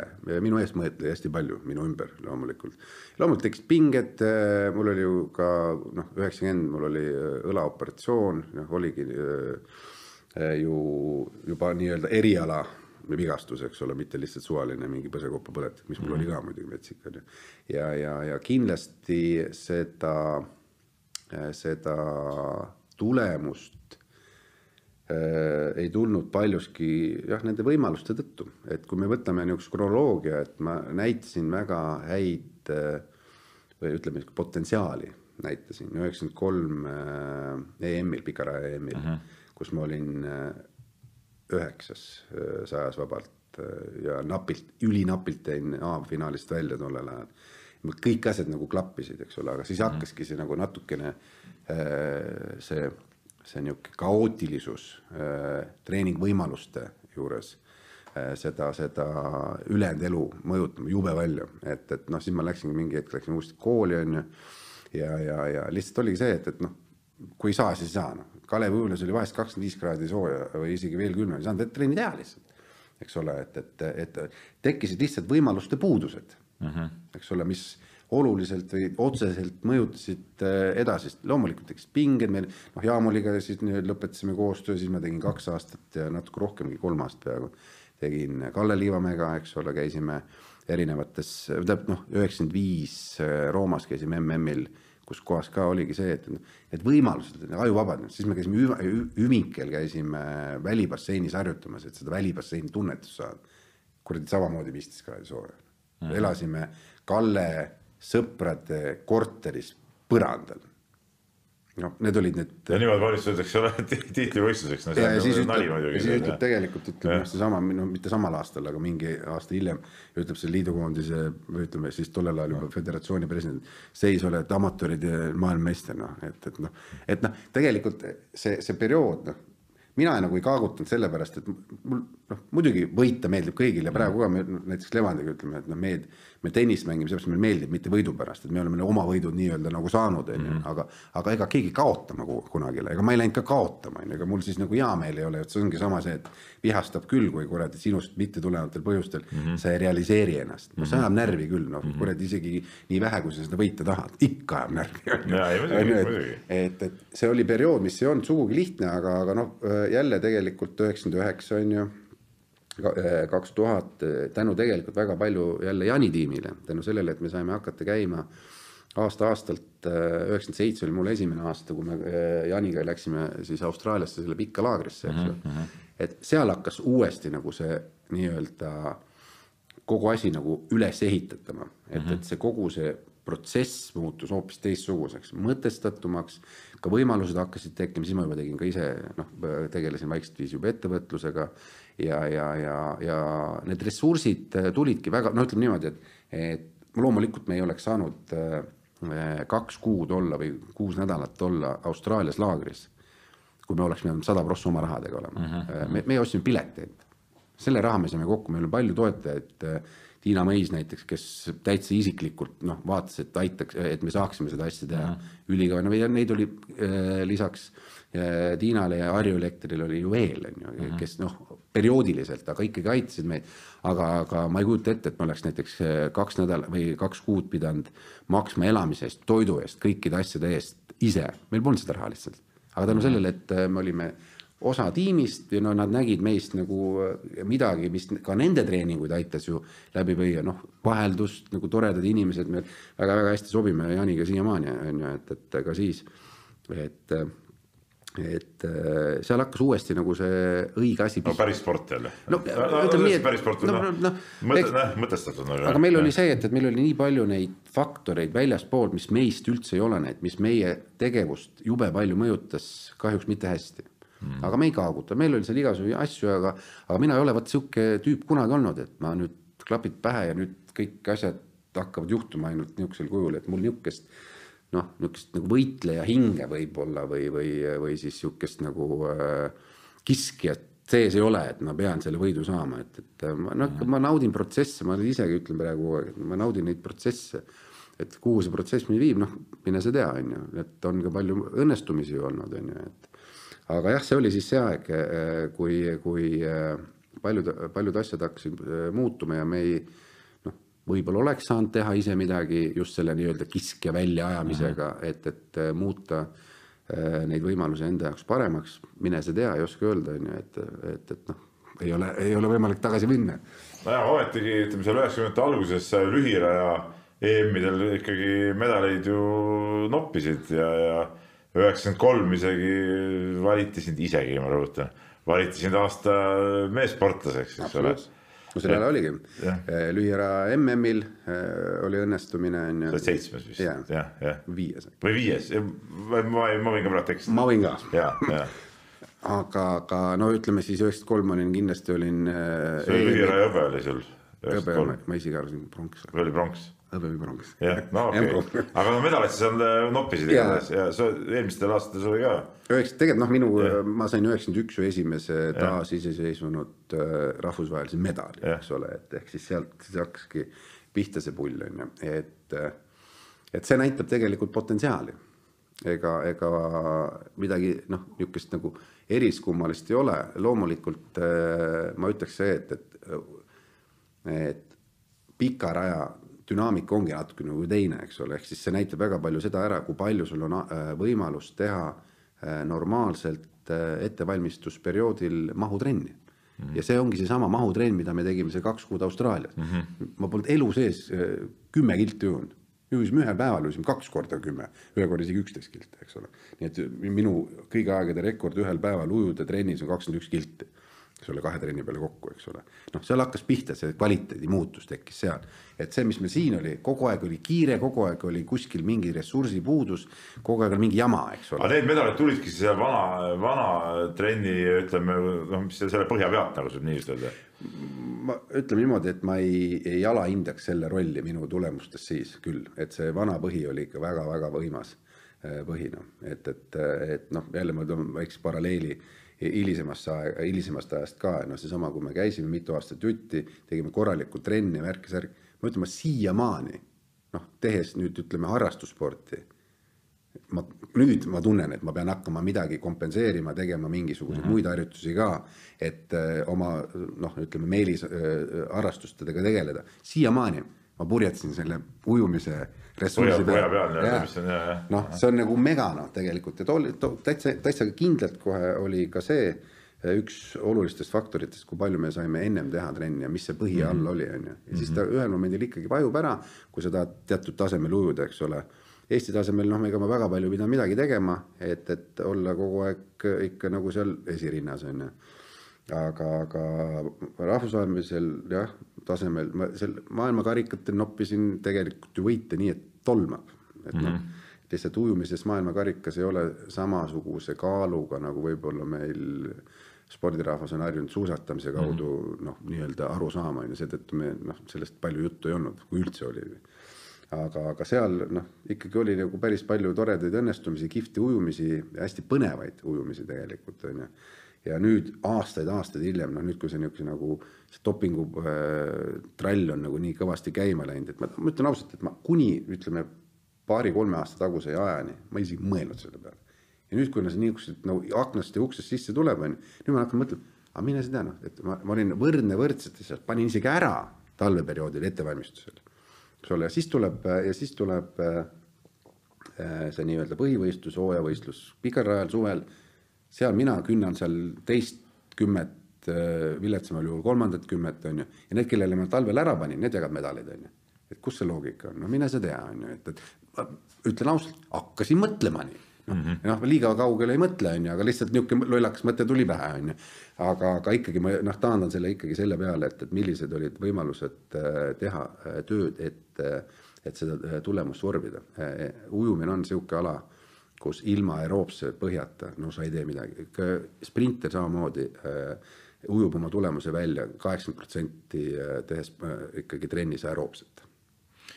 No Eesti ujujad on kõik ju noppinud medalisse lühiraja võistlustel, et, et seleta kahe sõnaga ära, mis see vahe siis on, okei okay,, lühiraja distantsil teed rohkem neid pöördeid, eks ole, noh, loogiline, ots on, ots on lühem, aga kas seal on veel mingid nüansid, mis, miks meile, kes noh, kel meil pikka basseinis Eestis eriti pole kuskil ujuda, et miks see lühirada meil nagu paremini sobib, et kokkuvõttes on ju see tõmme ja need on ikka samasugused ju. Ma ei ole ekspert loomulikult, ma ei tea seda metoodikat ja, ja, ja, ja sihukest noh, võib-olla ka neid noh, põhimõtteid, millega praegu siin tehakse, no minu puhul oli näiteks see, et jah, kuna, kuna aega oli vähem, aga mulle meeldib tegelikult detailselt asjadesse süübida, noh, ma olen niisugune nagu metoodiline või, või niisugune mm -hmm. ja, ja, ja mul oli noh, start üks maailma paremat, seda ütleb Rein Aljand tegelikult mm, -hmm. eks ole, ma nüüd tsiteerin natuke isegi teda tollest ajast. mul pöörded, kõik tehnilised nüansid mul olid lihtsalt mega head mm. -hmm. aga nüüd ongi see, et, et, et see distants siin vahepeal, kui me räägime pikast basseinist, siis vahepeal sa nii-öelda tõugata uuesti endale algkiirust ei saa, on ju. et, et noh, tõukest tuleb ikkagi mm -hmm. see algkiirus päris hea, on ju, ja kuskilt hakkab ju kärisema see pika basseini puhul ja see, ega palju pole vaja, näiteks sama üheksakümmend viis mm ma olin, noh, ma kohta täpselt ei mäleta, aga ma olin pakkuma välja, kas mingi kahekümne esimene näiteks mm. -hmm. ja A-finaalist ma jäin välja kaheksa sajandikuga. ehk siis kaheksanda ja kahekümne esimese koha vahel. no see olematu vahe. kolmteist meest ja, ja kaheksa sajandikku.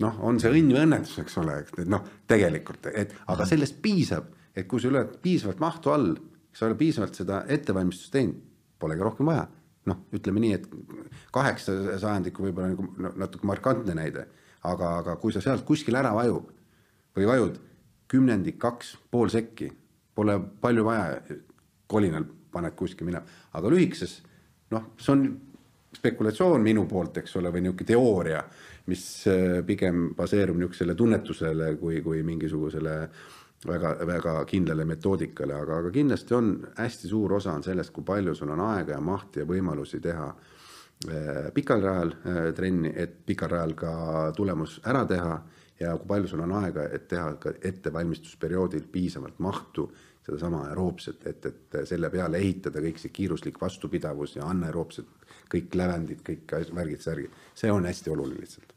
Aga emotsionaalselt olid need lühiraja medalid sinu karjääri kõrghetk või, või, või, või tipppunkt või, või, või mõni, mõni muu periood, kus võib-olla medalitulki oli sinu enda jaoks võib-olla ägedam või?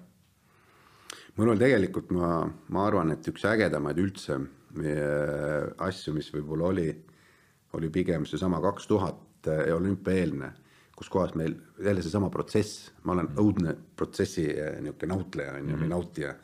Et, et see protsessi tulemusel me nägime tulemusi, me nägime seda, kuidas me tegime õigeid samme mm -hmm. ja siis Helsingi EM-il, eks ole, kus me seal eh, lühikese või tähendab selle viiskümmend liblikat ja viiskümmend krooli panime nagu üpris head tulemused, eks ole, me olime seal vist viies ja midagi seal ka noh, napilt medalist mm -hmm. ilma on ju.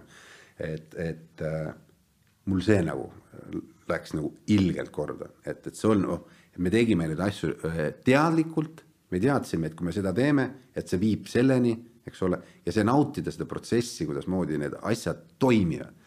no see oli nagu mega, aga, aga lõppkokkuvõttes ikkagi ma ei ole kunagi nagu võtnud ühtegi medalit või ühtegi eh, niisugust eh, resultaati siis ujumises niisuguse nagu kõrghetkena, see on nagu olnud minu jaoks nagu osa minu kogu olemisest või tegemistest ja, ja noh, muidugi, kui sa võidad, jupp hea meel on ju, ja, ja see esimene medal no, tuli täiesti lampi tegelikult, me läksime seal, me olime Jaamuliga Riius tegelikult seal täitsa nagu noh, ikka kogu aeg oli mingi jama oli meil on ju ja, ja läksime siin niisugust nagu tundus üldse mitte mingisugust vormi ei ole, aga noh, hakkas nagu tulema, tulema. aga, aga see oli niisugune nagu noh, nagu kogemata juhtus asi umbes on ju, kuigi ma, me olime trenni teinud, me olime väga head, eks ole, aga lihtsalt seda tunnetust ei olnud, see tunnetus tuli selle käigus, see feeling tuli selle käigus, eks ole, tuli eelujumine, siis oli see vaheujumine, veerandfinaal vist, siis poolfinaal, finaal ja nagu kuidas ma iga ujumisega läksin lihtsalt nagu minule arusaamatul moel parem, ma ei saanud aru, miks ma lähen paremaks, aga läksin kogu aeg paremaks, eks ole. see võtab kindlasti minu jaoks võtab seda niisugust võlu ära, kui ma ei saa aru, miks ma lähen paremaks aga fakt on see, et ma läksin ja ma täitsa ise tegin. medal, ikka medal. no just, et, et, et aga, aga ei no ma loomulikult rõõmustasin, me olime üli, noh, meil oli nii kihvt oli pärast seal kogu tiimiga on ju mm. -hmm ja, ja, ja selles pole üldse kahtlust, et, et ma rõõmustasin ja, ja mitte ei tulnud, aga, aga lihtsalt see protsessid ja asjad, et ma, ma ei võta seda niisuguse, et aa, nüüd on see täis tehtud, noh, nüüd on niisugune värk, on ju. et, et, et, et ma olen saavutanud mingisuguse, ma ei tea, eesmärgi, noh mul ei ole, ma olen, ma olen kogu aeg olnud niisugust nagu protsessis ja selles liikumises äh, ja, ja nautinud seda, seda sporti ennast, on ju. no sa märkisid ära, et olite Jaamuliga siis juba tülis, et, et, et miks üldse tekivad äh, sportlase, treeneri vahel siuksed tülid, et, et kas äh, sa ei olnud siis nõus mingite asjadega, mis treener välja pakkus või olid sul mingid omad nägemused või, või, või kuidas siuksed olukorrad tekivad? no ma arvan, et, et see on hästi palju erinevaid põhjuseid ja erinevad äh, erinevad niisugused trigger'id on näiteks noh, kindlasti ka nendesama treeneri ja õpilase vahel suhted, eks ole, meie olime Jaamuliga koos, ma olin kuradi neljanda klassi või kolmanda klassi poiss, kui me hakkasime koos tegema, ja, ja, ja ma arvan, pigem ongi see, et, et üks võtab täiesti siiralt ja pahatahtmatult ju sind kui noh, ikka last mm, -hmm. eks ole. ja siis sina vana fraier, eks ole, juba noh, habe ees ja puha onju.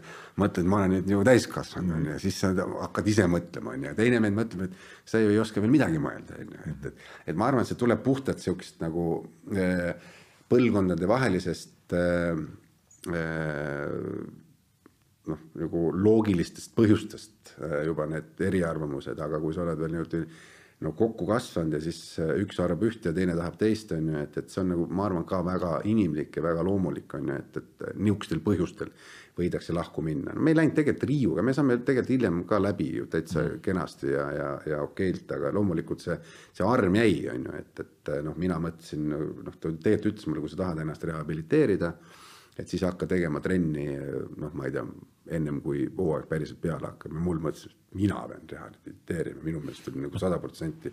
keegi üldse süüdi oli, see oli treener, et noh, see on nüüd Barcelona aeg, me olime veel meie vanemate juures külas on ju ja siis mõtlesin, mis mõttes, no siis noh, minul oli nagu mõte ees, nii kõik siit läks meie teed lahku ja läkski lahku siis on ju. aga mitte niisugune nagu resoluutselt või niimoodi, mõtlesin, et okei okay, noh, kui nii, siis noh, ma siis mõtlen midagi muud välja, eks ole, et eks ja, ja aga neid äh, ütlemisi ja, ja, ja eriarvamus oli, oli ju varemgi juba noh, et, et aga see oligi see, et, et et ma arvan, põhjus oli ikkagi selles, et ma sain täiskasvanuks, mul hakkasid tekkima omad mingisugused nägemused, omad arusaam, ma ise tunnetasin ennast paremini, mille tõttu tulidki need arvamused ju onju. ja siis ma hakkasin neid ütlema, et kuule äkki teeks nii ja kui mind ikka mitu korda pikaks saadetakse onju, et sa ei tea midagi, no siis tekib ju trots igal mm -hmm. normaalsel inimesel onju ja ma arvan, see oligi see noore mehe trots ja, ja sihuke tahe ja kõik, et, et mis mõttes ja kurat, sa ei tea ju midagi, noh nagu ikka need käivad nagu. aga sa enda arust teadsid ujumisest kõike sel hetkel? seda ma ei mäleta, aga ma, ma, noh, ütlen niimoodi, et teades ennast, ma arvan, et ma ei arvanud niimoodi, et ma tean kõike, aga ma arvasin, et ma tean ka mm. -hmm. et öelda sõna sekka ja, ja et mind aktsepteeritaks, minu sõna vähemalt aktsepteeritaks mm, -hmm. näiteks protsesside nii-öelda planeerimisel on ju. Aga seda ei võetud äh, siiski kuulda, on ju, et, et loomulikult noh, teatud metoodikad ja noh, sa ise tead ilmselt sama hästi kui meie kõik, kes on spordiga äh, lähedalt kokku puutunud, et, et treeneri roll ja noh, treeneri töö on üks tänamatu töö selles mõttes, et see, millal sa midagi näed oma töö tulemuses, see võib olla ikka metsikult pikk aeg, kümme aastat, eks ole.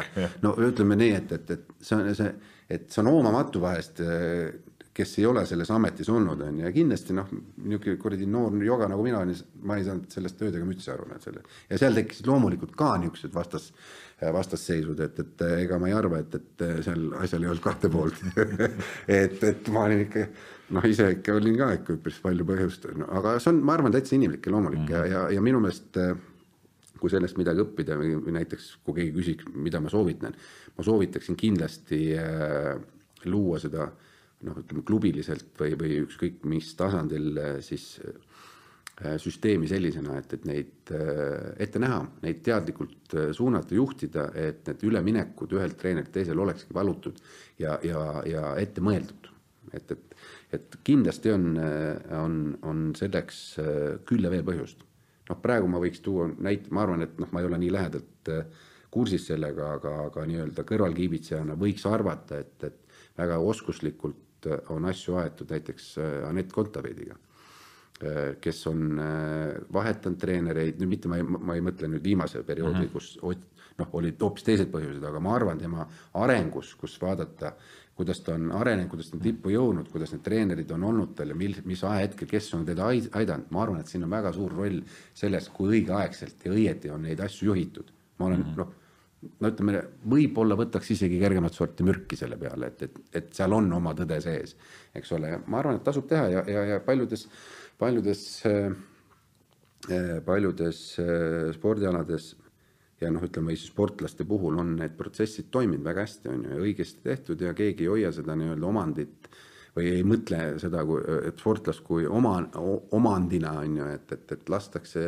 areneda ja ollakse pigem hiljem rõõmsad selle kõigi eh, tulemuste puhul on ju, et, et ma arvan, et näiteks Sirgi puhul võiks öelda, Haljaste on ju, on hästi tubli, et, et ta, ta eh, julgustas Serki äh, Inglismaale minema, aitas ta, noh, minu meelest see on mhm. nagu kihvt. jälle ma olen küll kõrvakiibitseja, kõike sisu ma ju ei tea väljastpoolt vaadates jube äge, noh, minu meelest see on üks tähelepanuväärne äh, näide just Eesti enda niisugusest äh, spordimaastikult, et, et, et ka nii saab, on ju, ja täna ma arvan ka Gregori tulemused paljuski on ju ka näiteks tänu sellele äh, ikkagi arenenud õiges suunas ja mitte äh, nagu tigutempos, äh, vaid, vaid ikka väga ilusas tempos, äh, et ta on saanud piisavalt treenida õigetes passudes. tal on õiged sparringud, tal on õige metoodika ja, ja pedagoogika tegelikult samamoodi on ju.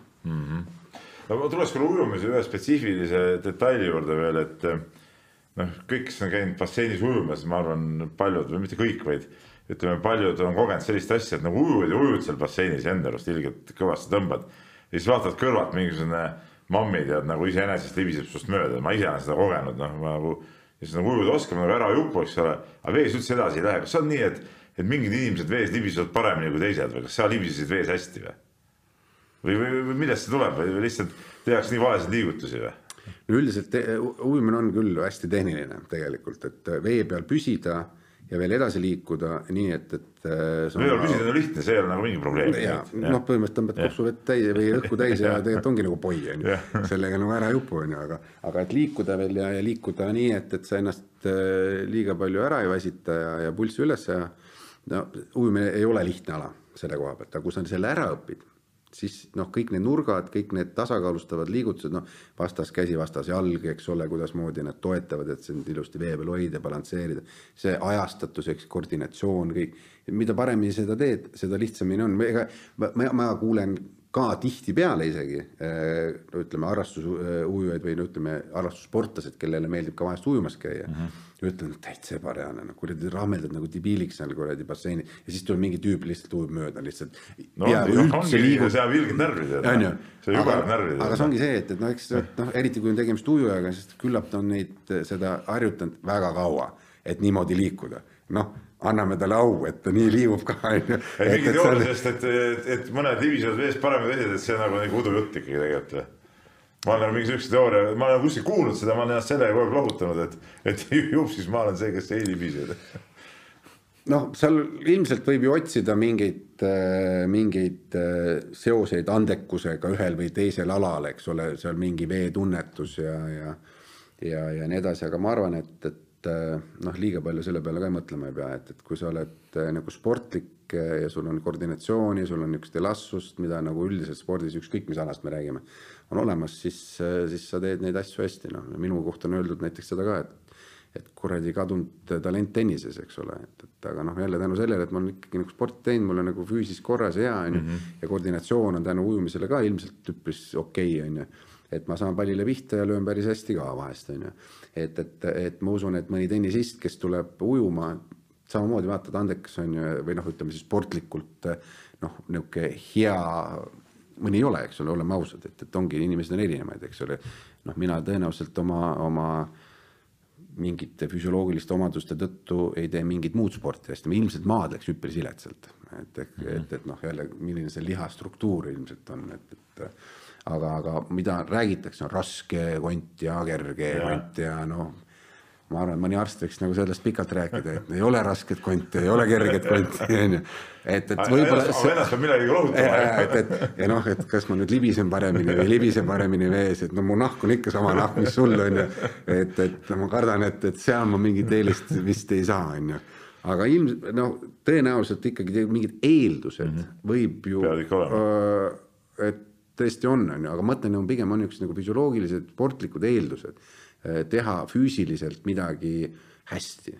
noh, mõnel võib-olla on vähem, mõni näiteks on ju väga andekas noh, mingisugust, ma ei tea, matemaatikas näiteks või, või, või noh, eh, et jälle see pool on ju, et, et inimestele on antud erinevalt, on ju, ja mm -hmm. mõnel tuleb mõni asi kergemini, mõni vähe äh, raskemini, et, et, et nii on, ma arvan, spordis ka no lähme nüüd, korra, korra rääkisime paar sõna olümpiast, et, et kolmedel olümpiatel võistlemine, no olümpia kui selline oli sinu jaoks ikkagi nagu ka siis mingi eriline asi ja, ja ainuüksi olümpial käimine oli ikka mingi unistuse täitumine või?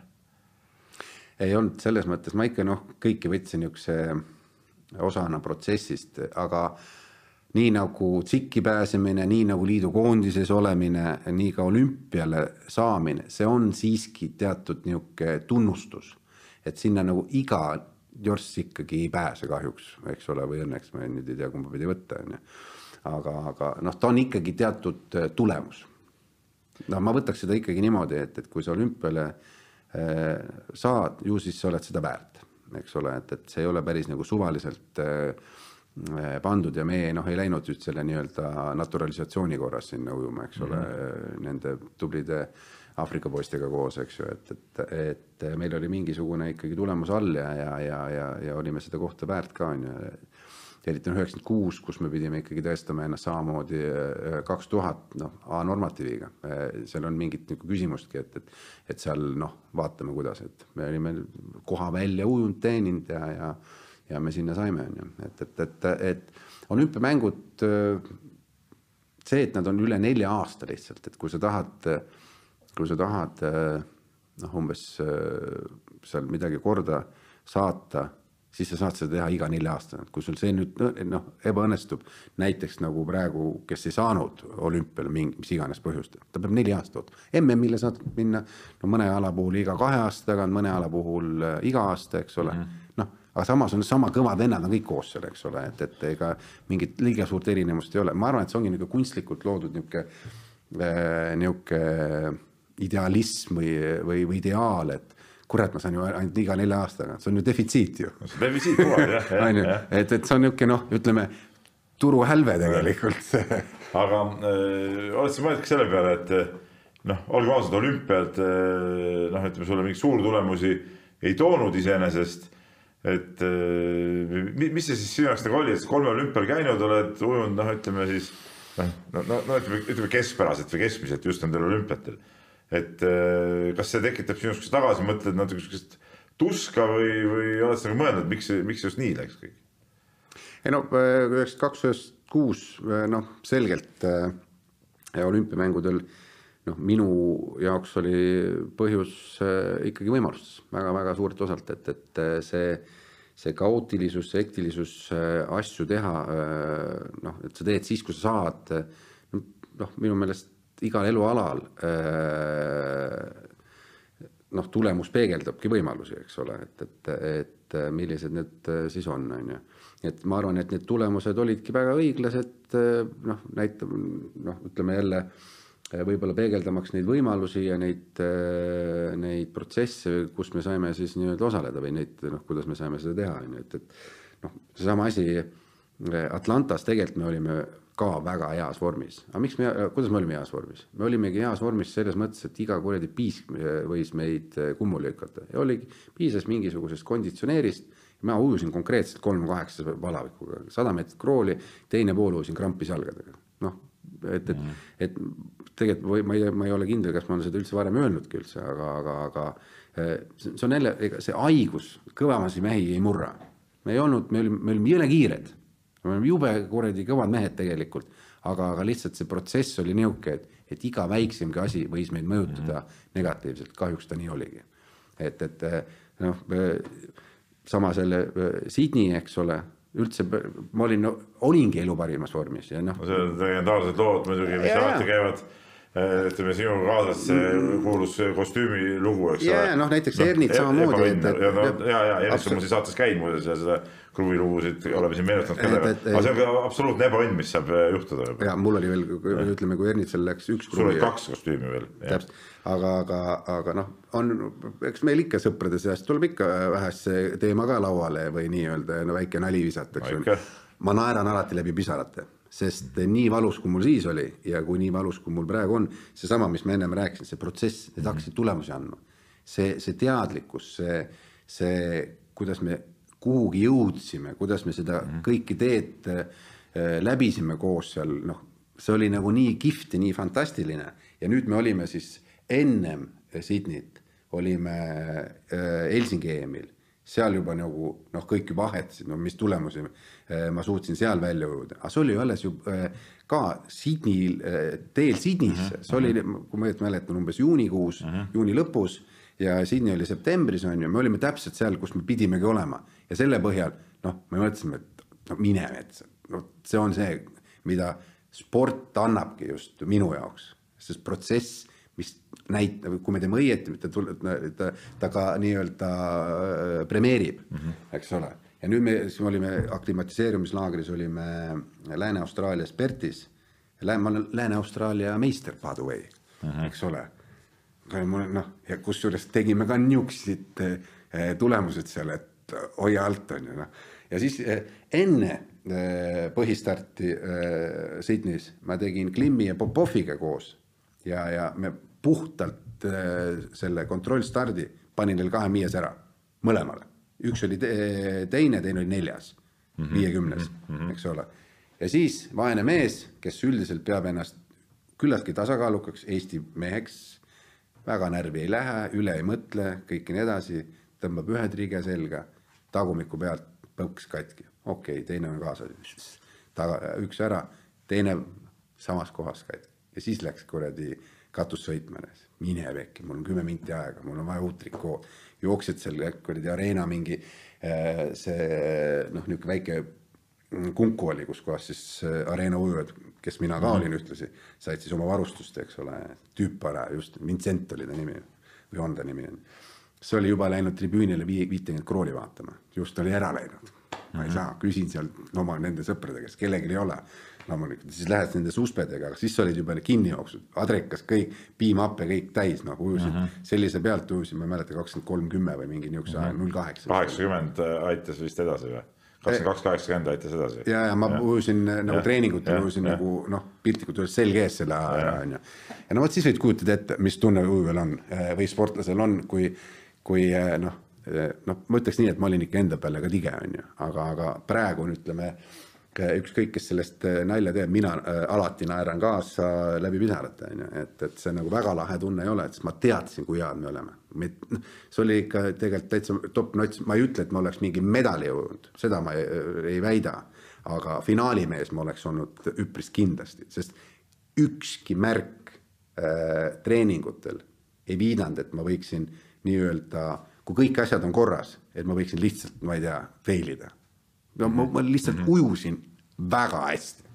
kas see, nii lihtne see oligi. kas see hetk oli, ütleme, sinu sportlaskarjääri ütleme nagu lõpupauk ka või? sa tead ju paar aastat veel tegid edasi, aga aga ütleme, mingis mõttes see moraalselt ikkagi ilmselt nagu lõi, lõi jalad alt ära ju see oli jah, niisugune õudselt suur pettumus oli, et, et et niisugune asi võis minuga nüüd juhtuda, on ju, ja, ja ega seda Agu andis alla ka ju tegelikult natukene ajakirjandus ka, et ega ju jõud-, et ma umbes varjasin, et, et olid mingisugused kuradi droogijuttu ja noh, see ajas mind nagu ilgelt närvi, arvestades seda, et, et ma unustasin tihtipeale ikkagi nagu C-vitamiini ka võtta, on ju, et ma olen nagu väga vilets igasuguse mingi eh, niisuguse lisa asja nagu tarbija, on ju, et, et siis no tullakse mingite niisuguste vandenõuteooriatega ka välja, et, et noh, tuleb mingisuguse trikooplämaga nagu no aga see ei tundu ju, kõrvalt vaadates ei tundu kroogiline, et kuule, üks katki, teine katki no,.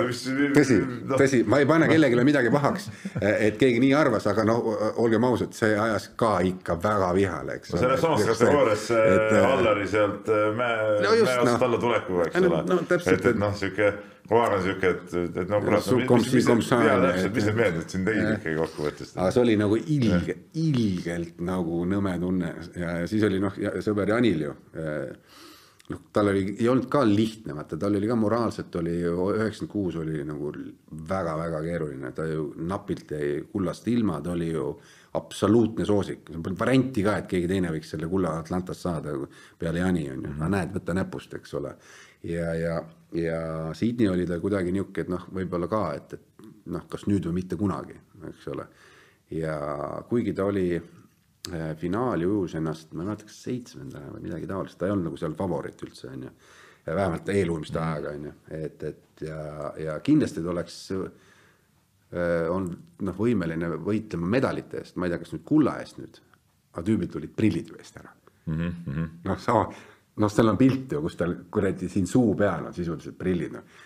samamoodi noh nojah no. kus siis veel, on ju, et, et, et ikka ebareaalseid asju juhtub elus ja noh, ütleme nii, et, et, et eks see nagu annabki sellise nagu mõõtme, et noh, ole parem valmis igasugusteks asjadeks ka siis, kui sa kõige vähem seda ootad, on ju, et, et ela, noh, naudi seda ja ma arvan, ma olen tegelikult noh kõiki neid hetki ka tegelikult nautinud, on ju. noh, ja, ja loomulikult ka, ka selles mõttes äh, kurvastanud äh,, kui niisugune asi, no siis ma olin ikka, ikka üpris löödud, ütleme, oleme ausad, ja siis me seal ju peale Sydneyt äh, suurt üldse trenni ei teinudki. noh, olimegi niimoodi, et noh, vaatame, mis tuleb ja mis saab ja kas teeme või ei tee ja siis tuli kuidagi see Valencia EM tuli suhteliselt kohe sisse, eks ole, seal ja, ja me tegime ju enne Valenciat tegime sisuliselt nagu ma ei tea, kolm nädalat trenni ja seal ma tulin noh, eh, või ütleme nii, et seal ma kaotasin üli-ülinapilt eh, kulla. et noh, ma olin sisuliselt olin seal ju no, ütleme koos Mankotsiga olime niisugune noh, emb-kumb võidabki tõenäoliselt, mhm, eks ole mm. -hmm. aga, aga pigem võib-olla isegi mina kui tema eh, sellel hetkel, sest noh, kõik jälle need eelujumised olid nagu mul tulid nagu niimoodi välja, on ju, aga, aga aga noh, kuna ettevalmistus siiski ei olnud piisav, siis kuskil hakkas ju see nii-öelda tunda andma, nii et ma lõpus ikka, ma ei mäleta, vist oli neli sajandikku, kaks sajandikku ma sain siis nagu pähe talt on ju, et, et jube napilt äh, igal juhul kaotasin, on ju, et, et äh, aga, aga see näitab ka seda, kui heas vormis me tegelikult Siinis olime. et kui noh, ütleme mitu kuud hiljem sisuliselt ja mitte midagi tehes, me paugutasime. Ja siis oli ju veel seda niimoodi, et aa ah, okei okay,, see andis niisuguse mõnusa nagu fooni või niisuguse emotsiooni, on ju. siis me panime ju siis veel edasi, siis me jälle tegelikult võtsime rahulikult natuke aega siis märtsis kaks tuhat üks oli, oli märts vist. oli ju Moskvas oli mm ja seal ma panin ka veel sellesama Sydney. sama põhja pealt veel kõik. ega me ei teinud üldse mingit erilist trenni, lihtsalt paugutasime nii, kuidas kuradi äh, pähe tuli, on ju, et, et noh, võtsime jumala relax'ilt, on ju, aga see kõik oli sees mul, on ju mm. -hmm. et, et no vot, niisugused toredad emotsioonid olid, on ju ja nüüd me oleme päris pikalt seda toredat juttu sinuga siin äh, vestlused, ma lõpetuseks lihtsalt küsin, et äh, kui sa tagasi vaatad, mulle tuleb, tundub su jutu põhjal tegelikult, see vastus oleks nagu jaatav, aga no võib-olla sa ütlesid teistmoodi. oled sa nagu rahul kogu selle ajaga, mis, mis sa ujumise peale kulutasid?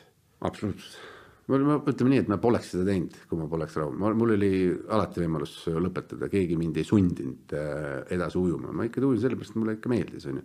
ma näin, kuidas äh, head sõbrad äh, ettevõtlusega alustasid, kuidas tuuletiibadest saad, said ja, ja, ja võimalusi lõid endale, on ju, ka nautida rohkem elu, et, et ma, ma ei, ma ei ütle üheski kohas, et mul oleks selles mõttes Äh, midagi kripeldama jäänud või praegu ammugi kripeldaks, vaid pigem ma ütleks niimoodi, et, et kui ma midagi äh, spordis võitsin, ma võitsin ikka ägedad sõbrad ja, ja ka kihvtid suhted äh, üldse noh, selles mõttes ma arvan, et kas ja, ja, ja võib-olla kui see on niisugune võit, on ju, siis ütleme, niisugune moraalne võit on kindlasti see, et, et seesama ujumine noh, nii-öelda vormis minus see, kes ma praegu olen ka, et, et, et ilmselt noh, sõbrad, kes mul on et nad ei ole sõbrad sellepärast, et äh, ma olen sei, vaid sellepärast, milline inimene ma olen, eks ole, ma arvan, et selles äh, on üpris suur osa mänginud rolli äh, see ujumine, et milliseks ma olen saanud või kes ma päriselt olen, on ju, et ja kuidas mul sõbrad minusse suhtuvad. see on mulle päris tähtis tegelikult, on ju. nii et jah. no elu saad nautida nüüd ka, eks ole. no ma ei saa kurta ei saa kurta vot nii, selge, aga suur tänu tulemast. tänan kutsumast see oli siis Peep Pahvi A-hüpet järjekordne saade. kahe nädala pärast on juba uus teema, uus inimene ja võin ette paljastada, et juttu tuleb ilmselt kergejõustikust. nägemist.